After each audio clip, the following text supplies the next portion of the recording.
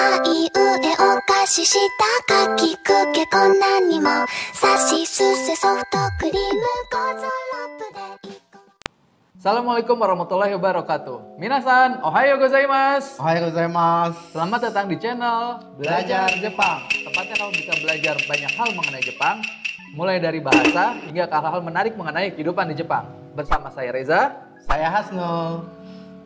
Terima kasih kepada teman-teman yang telah menonton channel kami. Dengan support teman-teman, sehingga menjadikan semangat bagi kami untuk, untuk terus sharing mengenai hal-hal tentang Jepang, mulai dari belajar Jepang hingga informasi menarik lainnya. Betul banget.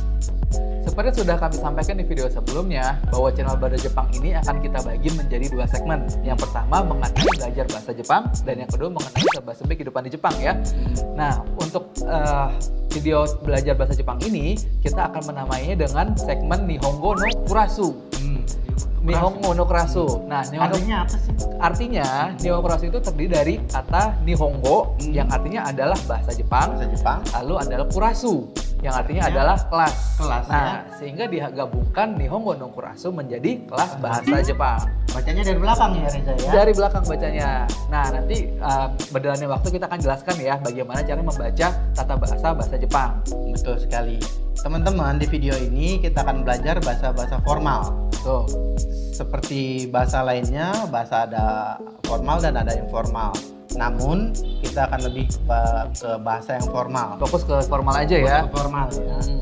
Nah eh, di Jepang pun sebetulnya bertingkat-tingkat ya, mulai dari bahasa formal yang hanya kita pakai di keluarga, ada juga kita pakai di tempat kerja, sama rekan kerja, juga ada bahasa formal yang untuk kita ngomong kepada atasan kita. Itu beda-beda semua tuh ya. Beda-beda semua Reja. Ada juga lagi beda lagi nanti kita kepada konsumen kita karena di Jepang konsumen itu beda ya. Konsumen kita jualan gitu. Iya betul. Pada Oh. kita kan melayani ya di Jepang itu kan Hmm. melayani. Jadi bahasanya melayani itu beda. Oh. Dan terakhir yang paling sopan biasanya kepada orang yang bos yang paling tinggi lah ya. Hmm. Dengan pertemuan pertemuan rapat-rapat tinggi biasanya dengan menggunakan bahasa-bahasa yang sangat-sangat sopan. Jadi kita sekarang akan fokus di bahasa yang formal nih, Iya. pada umumnya aja ya. Nah, gitu. Jadi Tapi nanti juga berjalan waktu kita selipin lah ya dikit-dikit yang non formalnya ya. gitu. Iya, biar kita tahu juga ya Tahu juga. bahasa sesama. Yang formal ini bisa kita pakai kepada kalau di ngomong sama teman ya Reza ya, Hmm, sama hmm. teman di luar kelas. Ya begitulah ya. Ya jadi kalau kita memang belajar suatu bahasa, memang sebaiknya kita mulai dari yang formal dulu ya. Mm-mm. Nah, nanti ketika kita sudah mulai memahami, menguasai, baru kita mulai uh, belajar yang bagaimana cara casualnya atau cara yang bahasa slangnya Bahasa seperti slangnya. itu. Teman-teman, sebelum kita masuk ke materi, izin kami untuk bercerita sedikit mengenai berdua ya, kami berdua. Mana kita berdua? Jadi mungkin bagi teman-teman yang menonton channel ini berpikir bahwa wah ini pasti berdua karena sudah bisa bikin channel mengenai bahasa Jepang pasti guru ya. Pasti mikirnya kita guru kan. lulus sastra Jepang Iya, betul. gimana. Tapi memang sebenarnya kita ini uh, bukanlah guru dan kita ini juga bukan lulusan dari sastra Jepang. Iya, Kita ini hanyalah uh, orang yang pernah belajar bahasa Jepang. berdua ya barengan Iya, dulu kita belajar ya, berdua. ya. Nah, jadi kenapa kita memutuskan untuk bikin channel bahasa belajar bahasa Jepang ini? Jadi yang memotivasi kita itu adalah karena kita pengen sharing kepada teman-teman mengenai ilmu yang kita punya. Hmm. Nah, kebetulan kita ini tipe orang yang seneng ya buat berbagi, terutama ilmu yang mengenai bahasa Jepang ini. Mm-mm. Karena memang eh, kan kita juga mengalami nih bagaimana rasanya kita dulu pengen belajar bahasa Jepang, tapi nggak bisa, banyak ya. kendalanya banyak banget. Mm. Kayak yang kemarin kita udah sampaikan di video pertama, Mm-mm. ada bisa jadi karena uh, masalah biaya, karena juga karena lokasinya yang jauh, Ya, karena kan bahasa Jepang juga nggak banyak ya tempat lesnya di, di, di, di kita ya. di Jakarta Nah ya. di Jakarta ini emang nggak terlalu banyak. Beda dengan bahasa les bahasa Inggris yang cenderung lebih banyak gitu. Nah karena bahasa Jepang ini kan kita juga harus karena nggak banyak pilihan, jadi kita juga mungkin jauh dari tempat tinggal kita. Gitu. Atau juga mungkin karena waktunya nih nggak cukup karena kesibukan sekolah atau kerja, jadi belum sempat. Gitu. Akhirnya memutuskan untuk belajar secara otodidak. Betul, Bang. Nah, dari kendala-kendala itulah makanya kami membuat video YouTube ini. Kami berusaha untuk semaksimal mungkin sharing semua pengetahuan yang kami dapat selama kami belajar bahasa Jepang. Karena kita tahu rasanya pengen belajar Jepang tapi belum bisa bahasa Jepang ya. Betul. Nah, jadi kita pun untuk materi-materi yang sudah kita susun di video kali ini, di channel ini, kita juga berusaha untuk saling berkaitan satu sama lain. Berkaitan dan ada metodenya dan tersusun rapi ya, Ren, Satu rapi ya. Jadi insya Allah jadi saling sambung menyambung dari yang pertama hingga yang berikutnya. berikutnya. Dan ini semua kita mulai video ini penjelasannya dari nol ya. Iya. Jadi kita kita anggap semuanya dari teman-teman adalah nol. Jadi kita belajar sama-sama dari awal.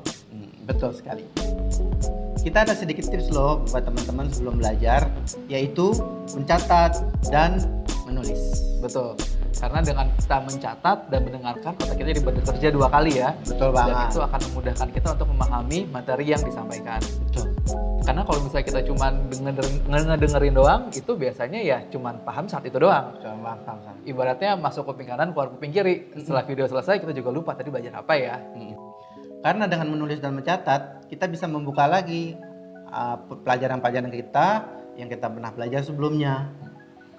Nah, karena kalau misalnya kita cuma mengandalkan video YouTube doang, ya mungkin kita YouTube itu mudah Oke, untuk terus ya, diakses lagi. akses lagi. Tapi kan kita perlu yang namanya akses internet atau baterai atau juga kita perlu handphone pastinya. Kalau Iya. misalnya kita lagi habis baterainya atau nggak ada internet kan kita susah buka-buka lagi.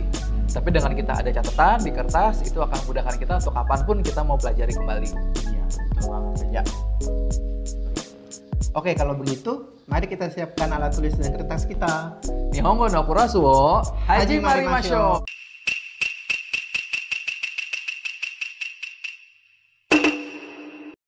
Kita masuk materi yang pertama, nani nani wa nani nani, des. des.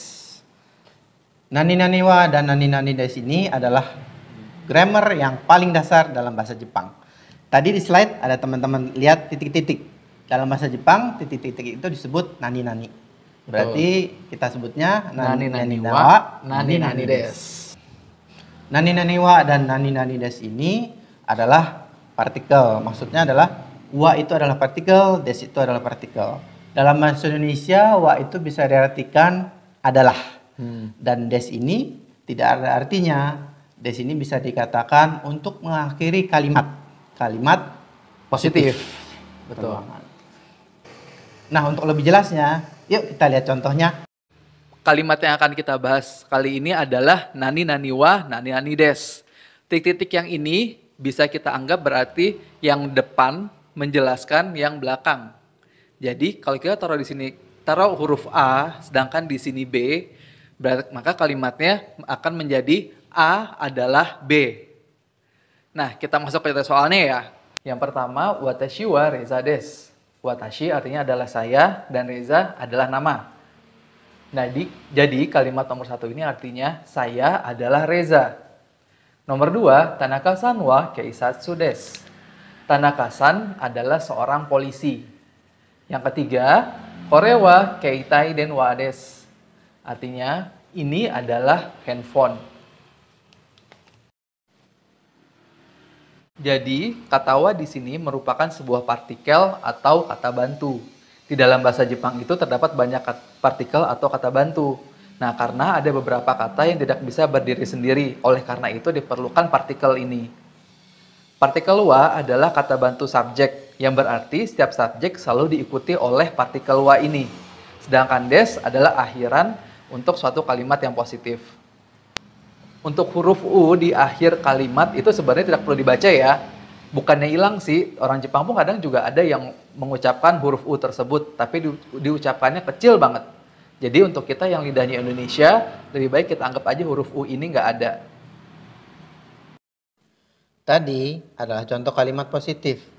Sekarang gimana cara un- untuk membuat kalimat negatif ya? Caranya adalah kita ubah akhiran des menjadi dewa arimaseng. Jadi rumusnya adalah nani nani wa nani nani dewa arimaseng. Nah, contohnya kita mulai yuk. Nomor satu, watashi wa reza dewa arimaseng. Bahasa Indonesianya, saya bukan Reza. Contoh kalimat nomor dua. Tanaka sang wa keisatsu dewa arimaseng. Bahasa Indonesianya adalah Tanaka sang bukan seorang polisi. Contoh nomor tiga, Korewa, Keitai, Denwa, Dewa Arimaseng. Bahasa Indonesianya, ini bukan handphone. Karena kalimatnya negatif, bisa juga langsung kita tambahin pembenaran dari kalimat yang salah tersebut. Kita ambil contoh nomor satu ya. Watasiwa Reza Dewa Arimaseng. Hasnul des. Artinya, saya bukan Reza, tetapi Hasnul. Contoh nomor dua. Tanaka Sangwa Ketsatsu Dewa Arimaseng. Isa des. Artinya, Tanaka Sang bukan seorang polisi, tetapi dokter. Kenapa kita langsung sebut Isades, bukan kita ulang lagi Tanaka Sang wa Isades? Karena di kalimat pertama kan sudah dijelaskan bahwa subjeknya adalah Tanaka Sang. Jadi kita tidak perlu lagi jelasin lagi di kalimat kedua biar nggak boros kalimat. Gimana? Gampang kan? Nah, kalau tadi kita udah bahas kalimat positif dan negatif, berarti nggak lengkap nih kalau kita nggak bahas satu kalimat lagi, yaitu kalimat tanya. Gimana sih caranya kita buat kalimat tanya dalam bahasa Jepang? Untuk membuat sebuah kalimat tanya dalam bahasa Jepang itu caranya gampang banget, yaitu dengan cara menambahkan kata k di akhir kalimat. Nah, dengan penambahan kata k tersebut, otomatis kalimatnya akan menjadi kalimat tanya. Nah, kita ambil contoh dari kalimat yang tadi ya. Tanaka-san wa keisatsu desu ka? Apakah Tanaka-san seorang polisi? Korewa keita denwa desu ka? Apakah ini sebuah handphone? Ano hito wa gunjing dewa arimasen ka? Apakah orang itu bukan seorang tentara? Sore wa megane dewa arimasen ka? Apakah itu bukan sebuah kacamata? Jadi, dalam bahasa Jepang, sebuah kalimat kalau ditambahkan k di akhir kalimat, maka otomatis kalimat tersebut akan menjadi kalimat tanya. Tidak pandang itu kalimat positif ataupun negatif. Jadi, pola kalimat apa pun nanti yang akan kita pelajari, untuk pola kalimat tanyanya tinggal ditambahkan k di setiap kalimatnya. Simpel kan? Oh iya, kalau kita tulis kalimat tanya pakai huruf bahasa Jepang, itu kita nggak perlu kasih tanda tanya ya, cukup huruf k aja. Karena orang-orang juga udah tahu kalau akhirannya K itu pasti kalimat tanya. Kecuali kita nulisnya dalam huruf romanji, itu baru perlu kita tambahin tanda tanya. Nah, apabila ada pertanyaan biasanya ada jawabannya ya. Nah, untuk menjawabnya gampang banget kok. Kalau jawabannya iya, berarti kita bisa jawab hai so des. Ya artinya iya betul atau hai saja cukup kok. Bisa juga kita pertegas lagi dengan jawabannya seperti Misalnya pertanyaannya Anatawa Nihonjin desu ka? Dan kita jawab Hai Nihonjin des.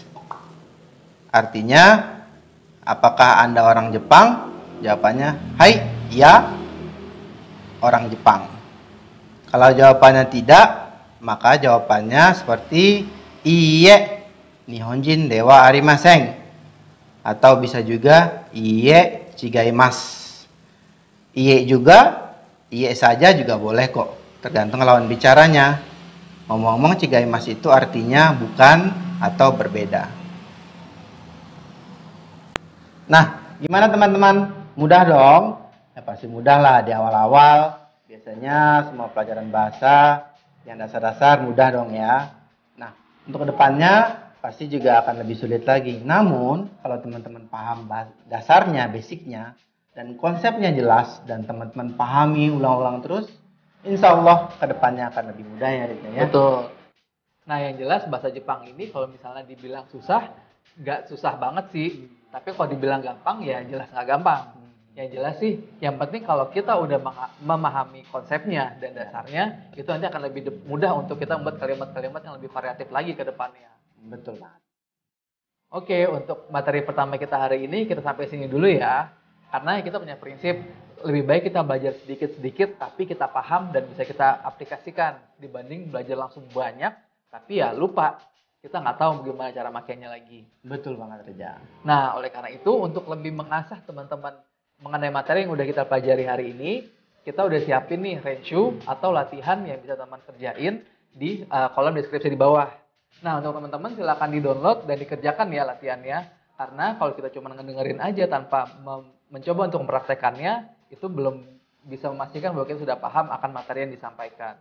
Nah, untuk jawabannya nanti akan kita berikan di video kita yang berikutnya. Oh iya, satu lagi. Untuk menambah kosakata teman-teman, kita udah masukkan juga tango atau kosakata. Jadi supaya teman-teman bisa membuat kalimatnya lebih variatif dan gak itu-itu aja. Baik teman-teman, sekian video kita kali ini. Mudah-mudahan bermanfaat dan berguna bagi teman-teman semua dalam pem- pembelajaran bahasa Jepangnya. Dan juga kami mohonkan untuk feedbacknya, komentar, pertanyaan, kritik dan sarannya pada kami agar kami bisa lebih baik lagi ke depannya. Ya, tulis semuanya di kolom komentar ya.